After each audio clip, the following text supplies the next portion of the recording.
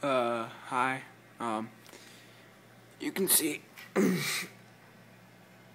says Hanoi, Havana, and then the other ones uh, are just like real games. But then this, the Havana and Hanoi at the top right there, those are the those are the ones that I played.